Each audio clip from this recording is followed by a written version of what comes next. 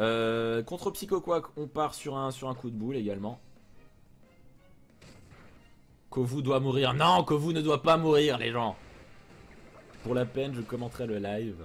je voulais remercier ma famille qui m'a permis d'en arriver là et d'être cité dans une vidéo d'Anti.